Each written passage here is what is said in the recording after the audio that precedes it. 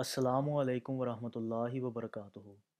Every year, Australia celebrates National Tree Day in the month of July.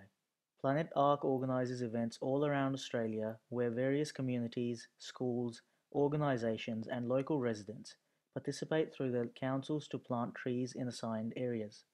Thousands of plants are planted around Australia during this month. Majlis Ansarullah Al Nasir and Majlis Khudamul Ahmadiyya Fazle Umar, Adelaide, South Australia, participated in this event for the very first time this year.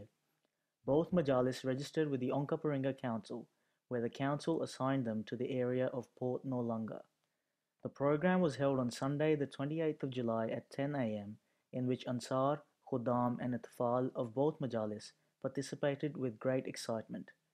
A council worker instructed the participants on the benefits of planting the native plants and also how to plant the trees.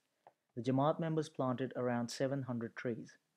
Nikola Manos, Environment Project Officer from the Council, appreciated the Jamaat's participation. Uh, thank you to the Ahmadiyya Muslim uh, Community Group for coming along to our planting event for National Tree Day. It's been an amazing turnout. We've planted nearly 700 plants um, and we're sponsored by Planet Ark and the City of Onkaparinga.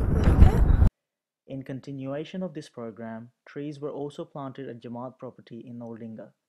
Monas Sheikh, MTA International Studio, Australia.